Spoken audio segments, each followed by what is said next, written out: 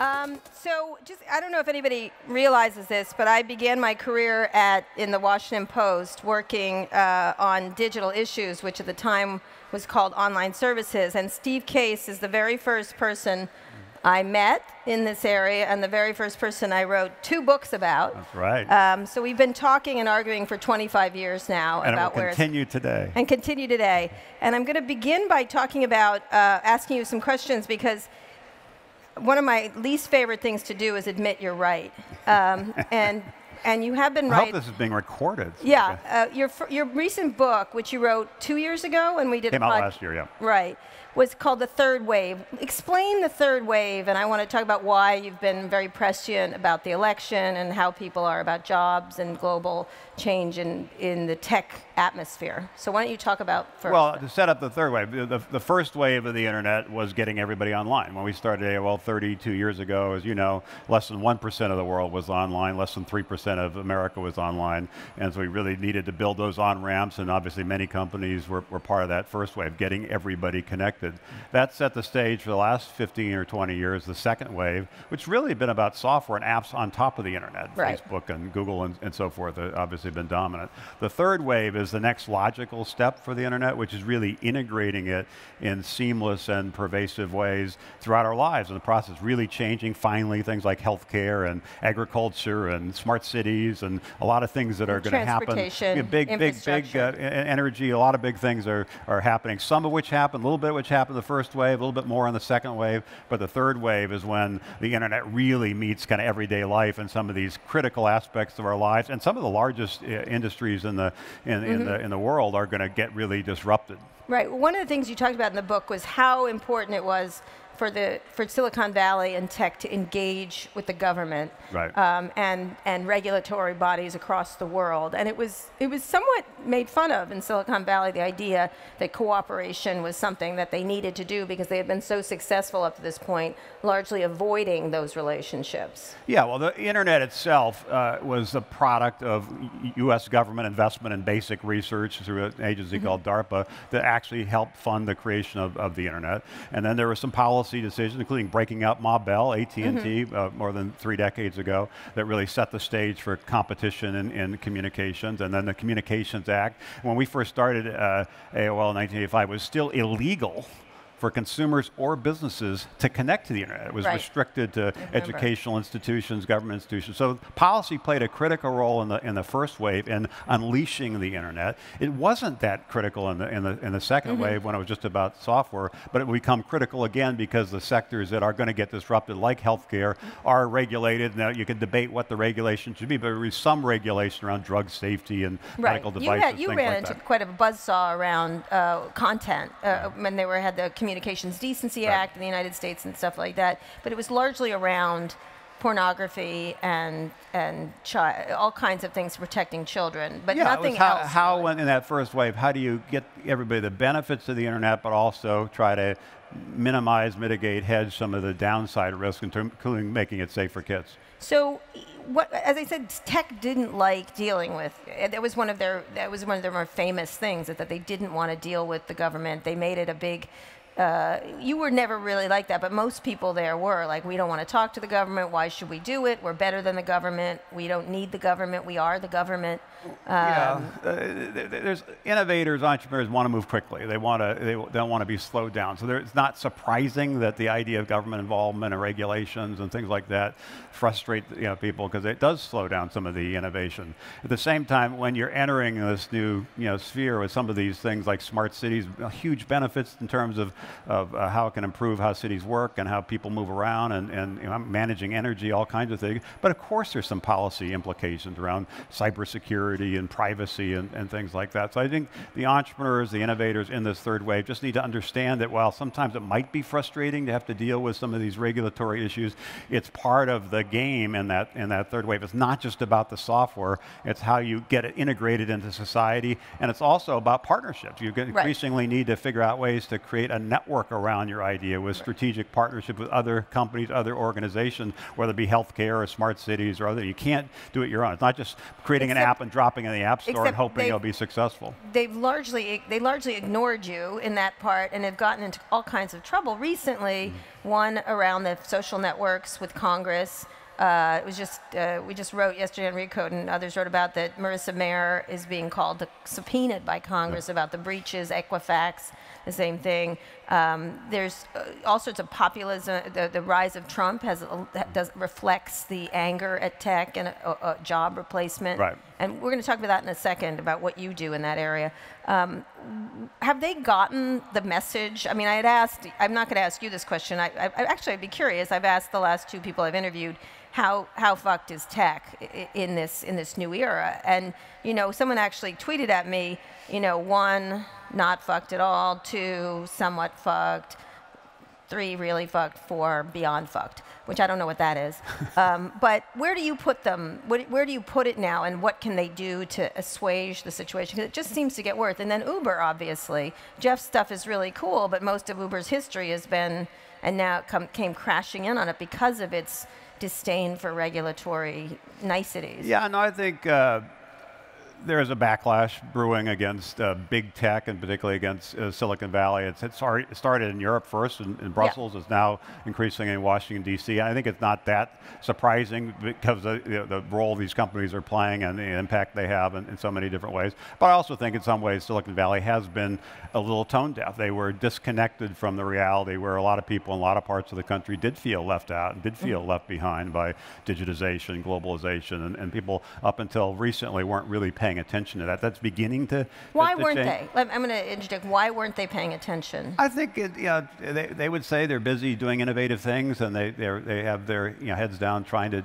trying to innovate, but also they have like in Silicon Valley, it's a great place and obviously will continue to be super innovative. But in Washington D.C., where I live, we, people talk about inside the Beltway, kind of. You, if you get out of touch with what's happening in the middle of the country, I think there's a inside Silicon Valley kind of you know kind of dynamic as well, and people need to get out and see what's happening happening in other parts of the country or other parts of the, the world to really understand how people feel and, and what they can do to make sure people feel optimistic about the future. There are many people that are scared about AI, scared about robotics, scared about driverless right. trucks, what, what impact it will have on jobs and things like that. How do we make sure people are optimistic about the future, not, not, not skeptical or even maybe, maybe hostile? Not to sound like a Luddite, but why would you be optimistic? I mean, today the head of Deutsche Bank talked about eliminating half its jobs. And, and one of the things you know I've been talking about with you a lot lately is these issues around AI, automation, robotics, uh, self-driving, right. which is a whole panoply of jobs, um, and, and,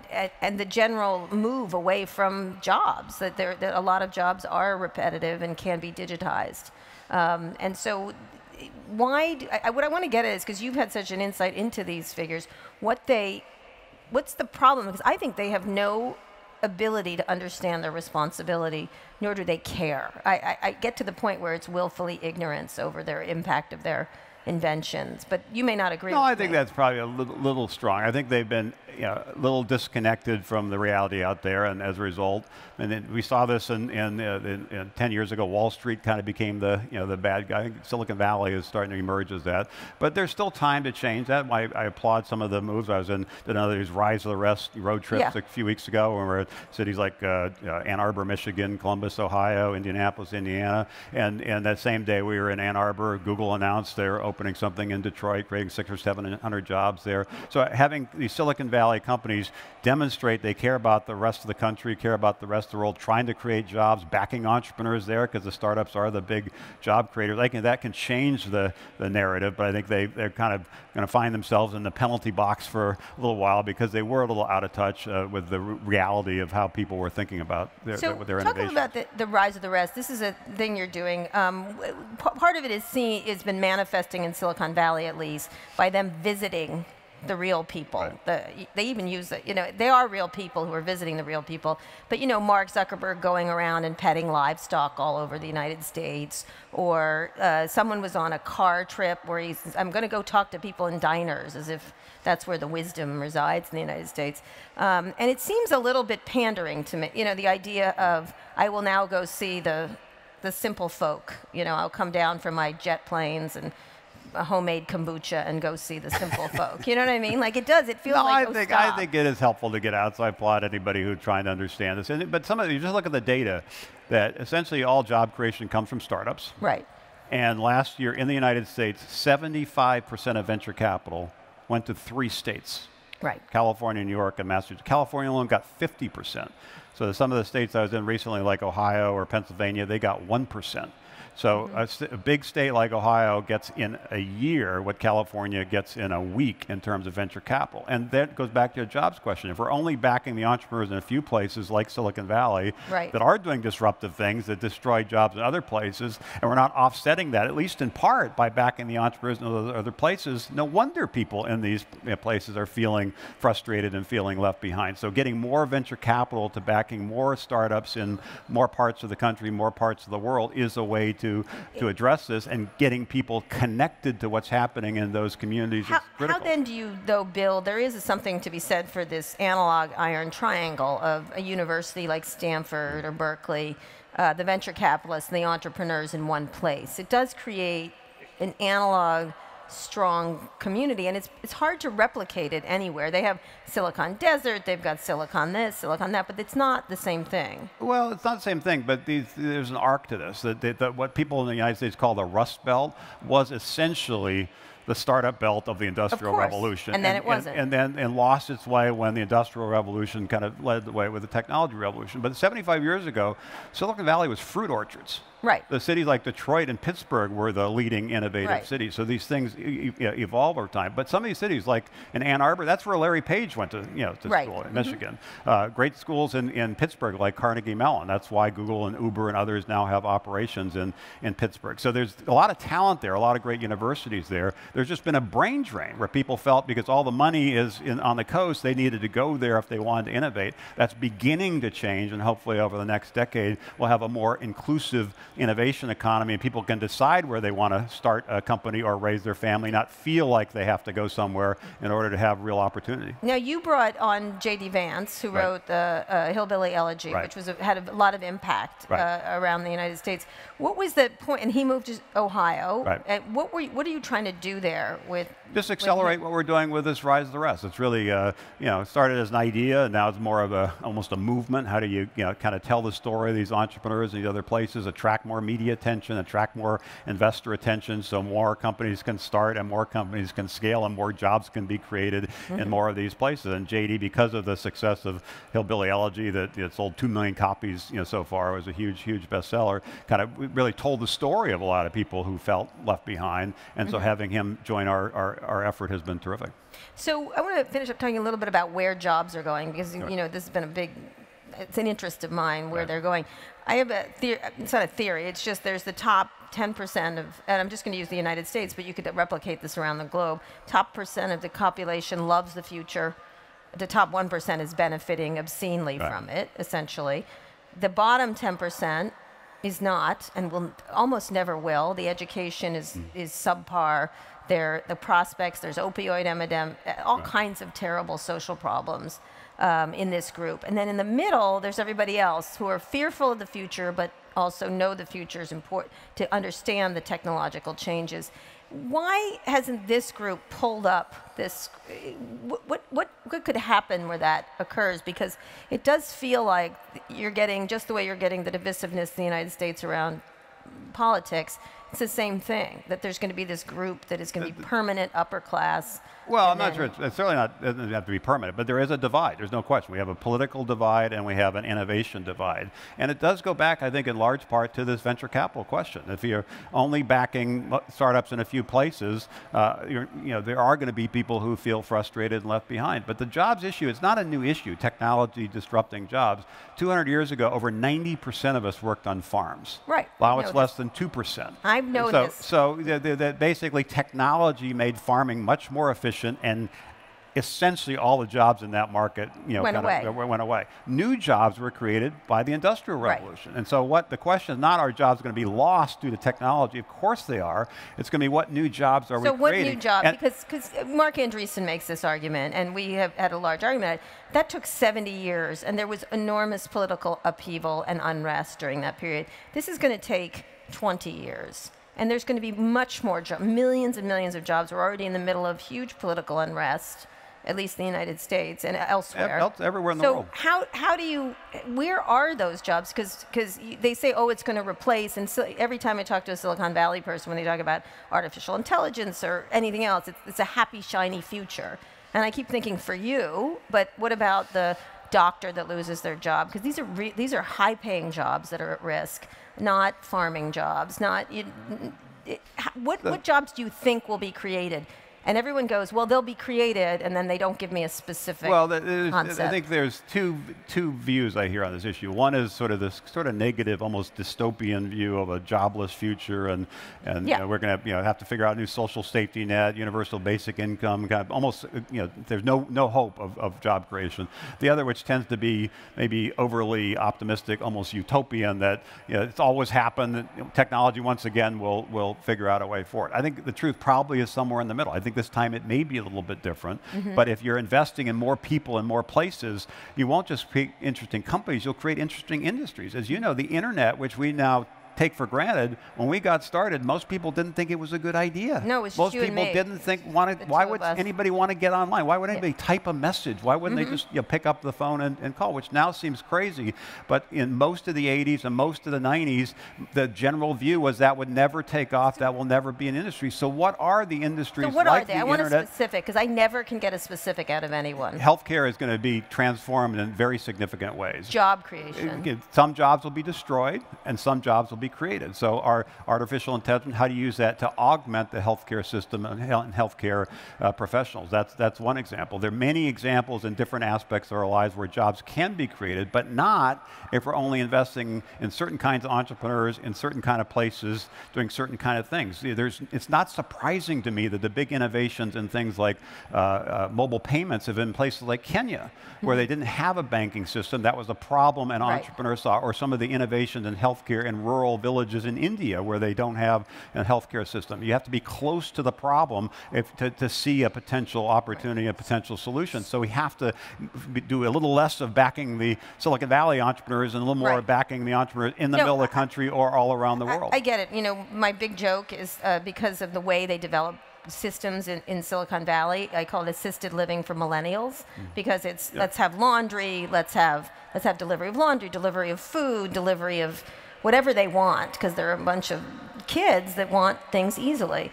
How do you get that mindset elsewhere more serious issue, more serious. Well, I think solutions. it's beginning to change, and, and, and, a lot of the innovation in these rise the rest cities in the middle of the country, and a lot of the innovations I see traveling around the world, people are trying to take on some of these tougher challenges around. So give me healthcare. one example, like what's something that's a, that I would consider a serious like problem that solves it, like healthcare. A company we backed in Chicago called uh, Tempus, one of the founders of, of uh, Groupon, Eric Lefkofsky, started a company trying to essentially create like an operating system for cancer. Right now, if you in the United States States, you go to most hospitals, there's a good chance you'll get a misdiagnosis. MD Anderson in Texas, uh, which is one of the best uh, cancer hospitals in, in the country, says when people come there for a second opinion, 25% of the time they reverse the original opinion. Mm -hmm. That's a data problem. It's a diagnosis you know, problem. Right. And so that's an example where technology can be, and big data can present more precise diagnoses that lead to more precision you know, medicine. So that can change, transform healthcare as, a, as an industry, save people's lives. Mm -hmm. So it's pretty, pretty fundamental that, you know, and, there, and, more and more attention is now going to sectors like that,